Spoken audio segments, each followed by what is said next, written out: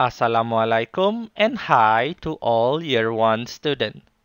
Today we are going to learn preposition of time. So, what is preposition of time? Preposition of time allows you to discuss a specific time period such as date, days or actual time. The list of preposition of time that you will learn are at, in, and on. So if you notice, these are almost similar with preposition of place, but it is used in a different way. When to use at, on, and in? We use at when we are discussing about time. For example, 7 o'clock. So we use at. Next, when do we use in? We use in when we are discussing about year and month, such as 2010 or December. Lastly, we use on when we discuss about day or date. For example, Monday or 1st May 2020 or any date. Yang penting full date.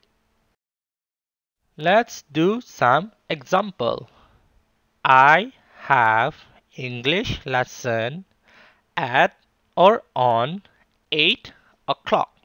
So since here is time, so we use at. The second example, Ali was born on in 2010. So here we talk about year. So the answer is in. The third example, we need to submit our homework at on Monday. So here we talk about day. So the answer will be on. The fourth example, I always sleep in at 9 o'clock in the evening. So here we talk about time. So the answer will be at.